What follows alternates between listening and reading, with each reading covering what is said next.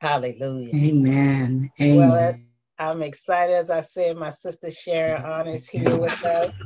Uh, she's actually a minister at First Baptist Church of Glenarden, a co-laborer in Christ with us there, and we praise God for her. She teaches Sunday school as well as in the Bible Institute there. Uh, she's uh, from a native of South Carolina, praise God, the oldest of eight, and she has one beautiful daughter.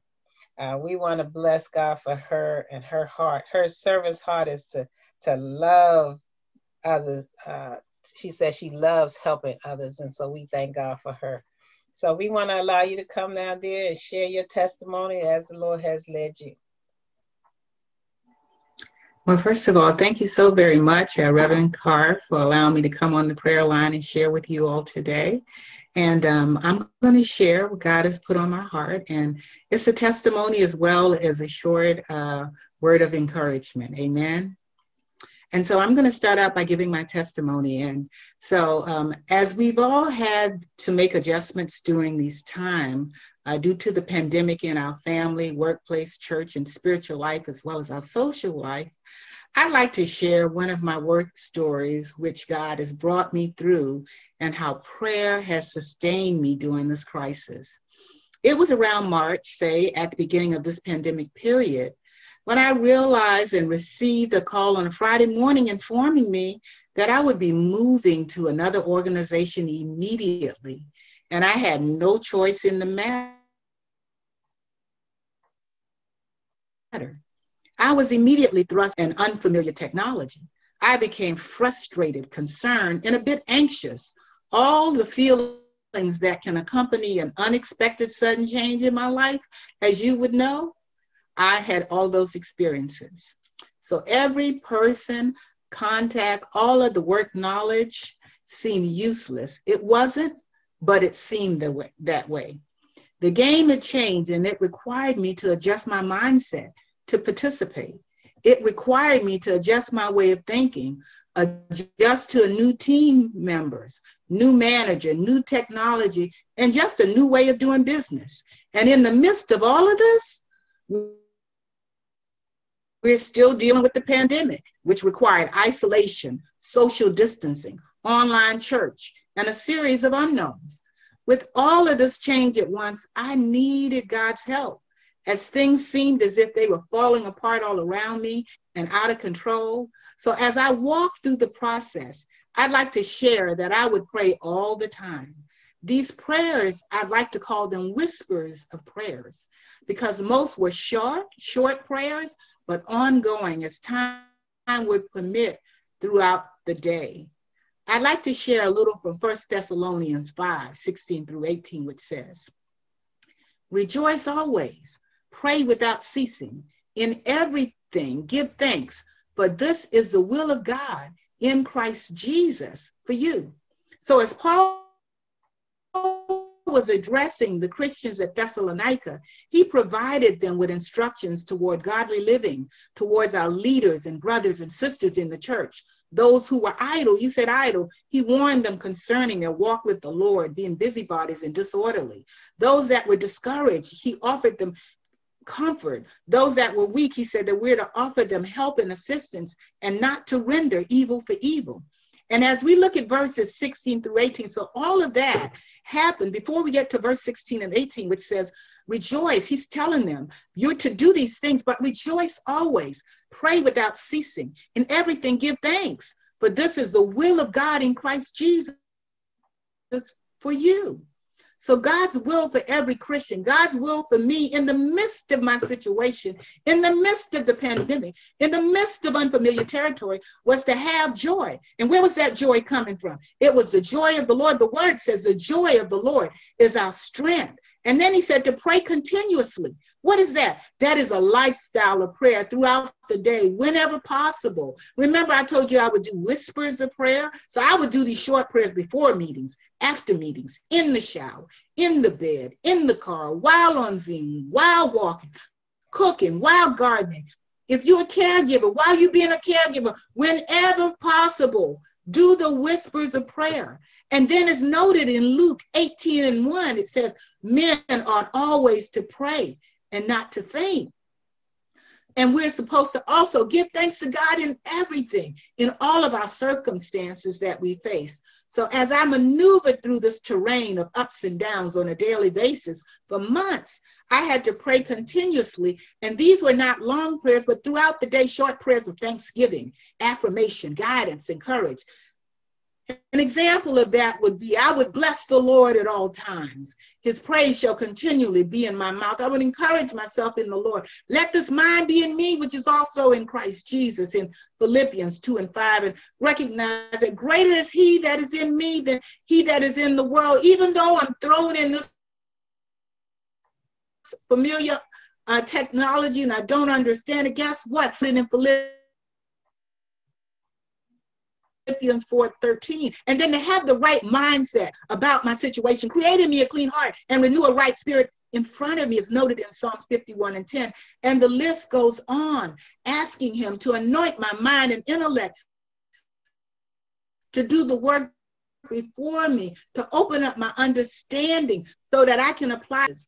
And so in our weakness, he's made strong. And I know that this is a job situation that I was experiencing during the pandemic. But my brothers and sisters, I want to encourage you that you may be challenged, maybe not your work challenge, maybe it's a family challenge, maybe it's sickness, whatever it may be. I have just a few short takeaways. And some of my takeaways as I walk through this experience, and some that I would like to share with you from the scripture is to pray continuously. And what does this do? It builds intimacy and relationship with God and keeps us connected to Him.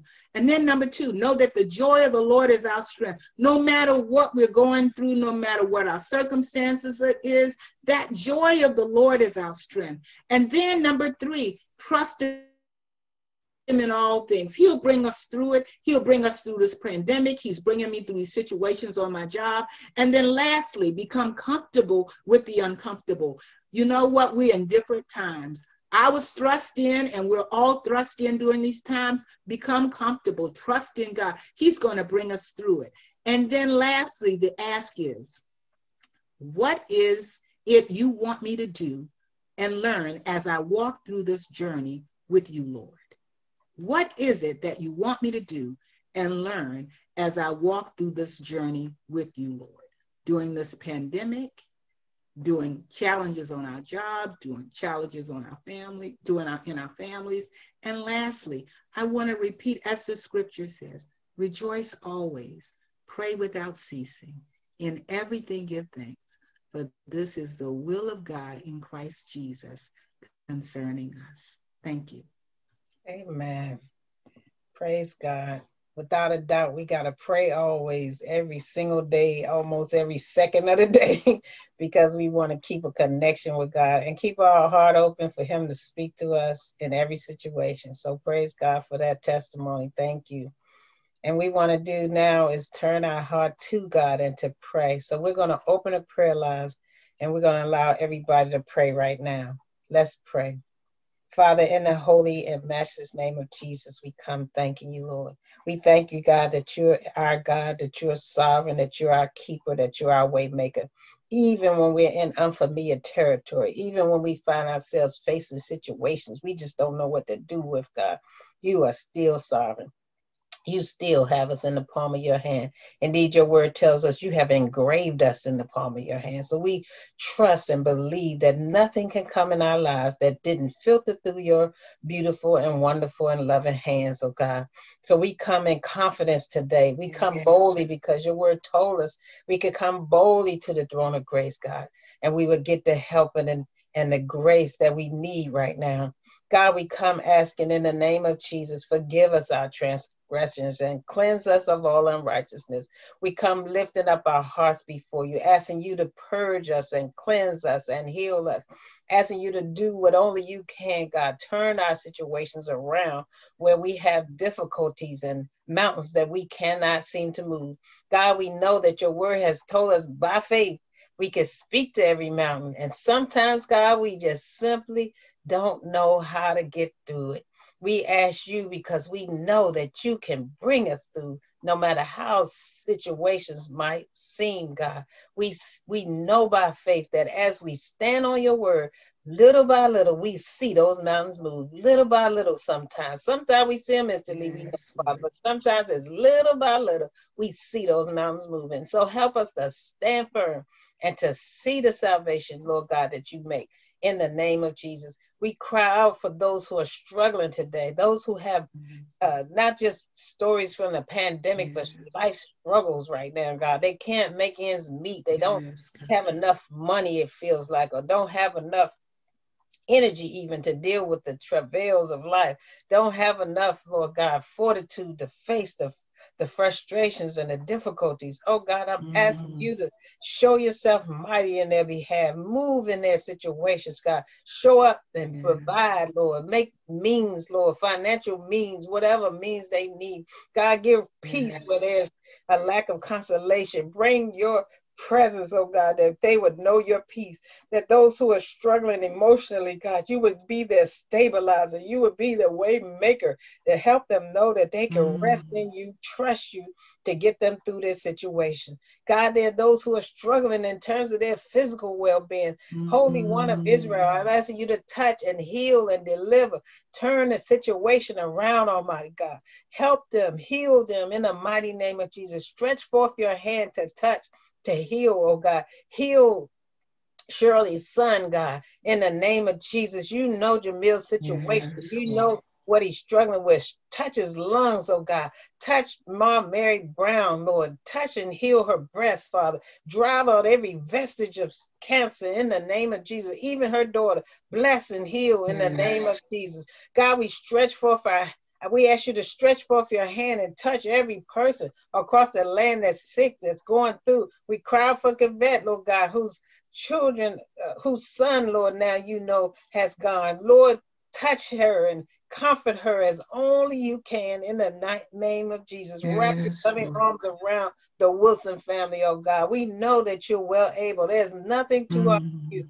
Touch Jessica, oh God, in the name of Jesus. Sister uh, Jessica, God, as she mourns the loss and passing of her friend, comfort her heart, oh God, in the mm-hmm. name of Jesus. We know you are the great yes. I am, and you're the God of all comfort who comforts us in all of our troubles, oh God. We cry out for our leaders today, the pastors who are serving your body. God, we cry out for yes. Pastor John K. Jenkins Sr. and every other pastor who stands in the gap to serve today. Cover and keep them, bless and guide them, give them your wisdom, oh God. We cry out for the leaders across the land, the president and the vice president and the yes, Congress, oh Lord. oh God, members, yes. senators and House of Representatives, Lord God. We ask you to cover them in the and keep them and guide them. Use them for your glory.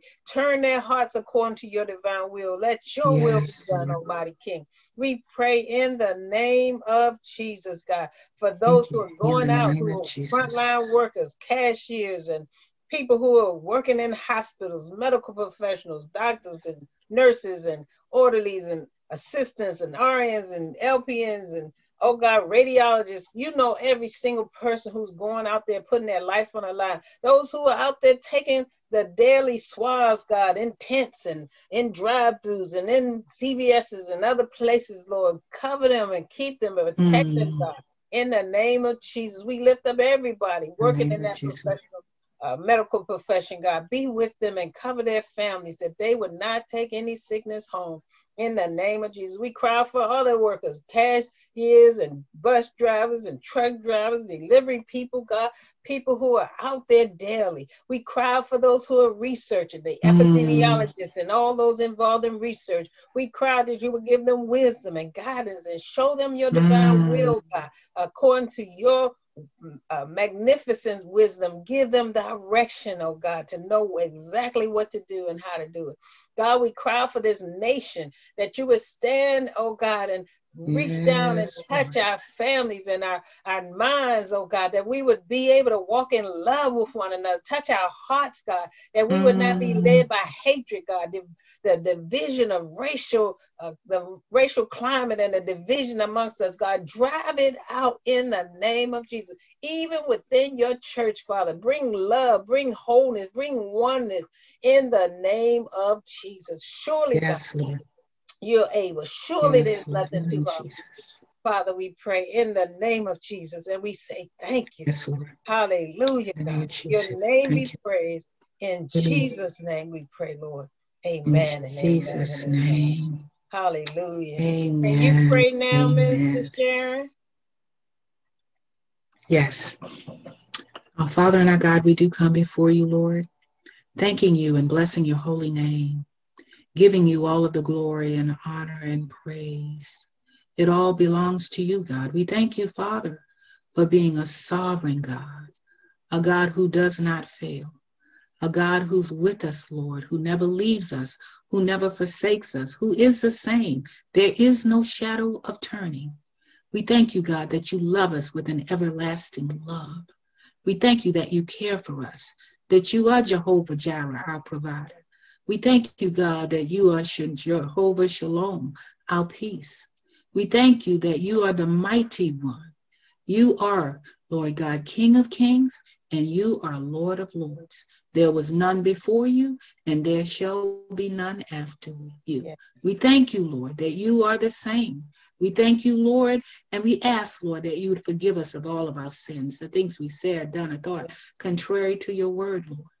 And so, Lord God, we ask as we come before you, Lord, everyone that's on this prayer line, Lord, them and anybody that's connected to them, Lord, we just come before you, thanking you, Lord, for whatever they may stand in need of, that you would meet their very needs, that you would surprise them, Lord, that you would show yourself mighty and you would show yourself strong.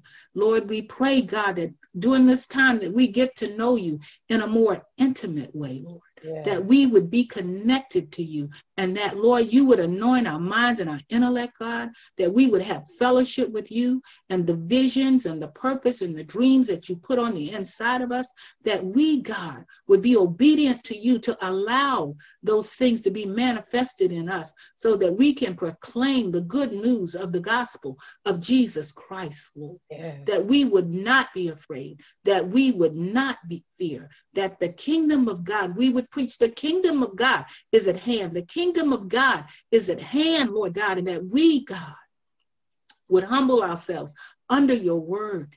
And Lord, the things that you called us to do, that we would do them, Lord. That we would walk in the kingdom, walk in your purpose, walk according to your will for our lives. We pray, God, for a shield of protection around us, Lord a shield of protection. And we pray for this ministry and Reverend Lettie, Lord, that you, God, will continue to expand her territory to reach, Lord, the uttermost parts of the earth, Lord. Oh, God, we thank you for the audience that she has.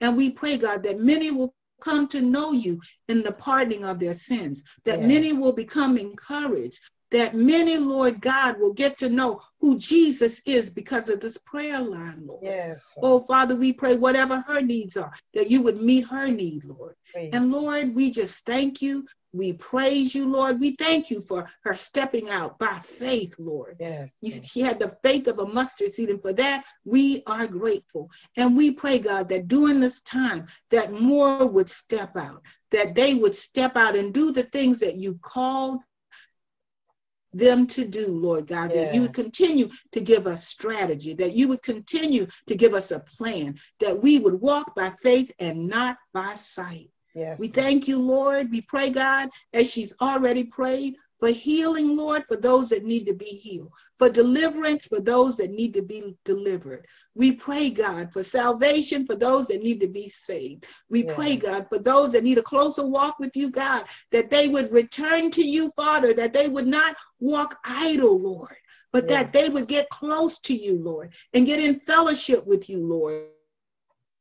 In the name of Jesus. And we would not, as we're in the midst of all these challenging times, that we would not, the way we came in, that we would not go out. And Lord, for so many people that are hurting, we pray, God, that you, the God of all comfort, would meet them at their place of need. Those that don't have anybody to pray for them, Lord, we pray on their behalf. You know their names, we don't, but you do. And so, Lord, we thank you. We thank you, we praise you, and we bless you. In the name of Jesus, amen. Amen, amen, and amen. And we always like to make sure that before we go, we op- give an opportunity for everyone to give their heart to Christ. We want to invite you, if you've never accepted Jesus as your personal Lord and Savior, that today is the day that you would do it. Today, surely, is the day of salvation. We want to encourage you. Don't let this harvest pass you by. God is a faithful God. He's a merciful God. He's a kind God. And He gives us opportunity. It's up to us to take advantage of that opportunity. So today, if you hear His voice, you hear Him knocking at the door of your heart, you can say yes to the Lord. You want to know that you have eternal life so that when you leave this earth, you know you'll spend your eternity with Him. And you want to have eternal life because you begin today walking with Him. You begin today to hear His voice. You begin today to receive the encouragement that you need. I was blessed when I was talking to a dear sister, and she was saying how she was hurting because she was going through something. But she said it was amazing.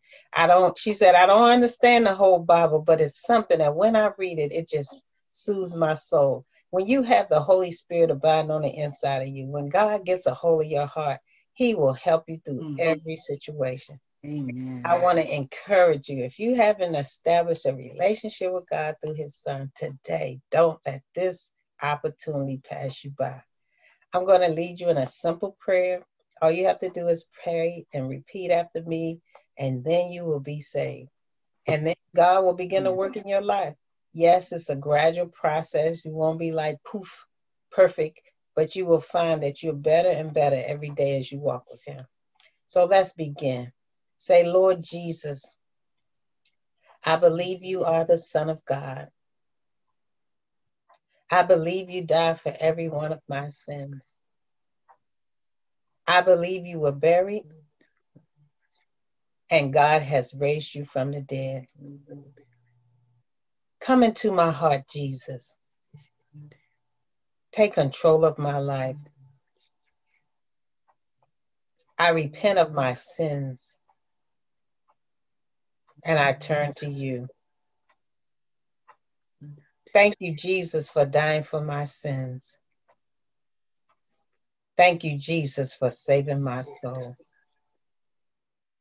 Amen and amen. Praise the Lord. We believe if you prayed that prayer today, you are a child of God and your name is written in the Lamb's Book of Life.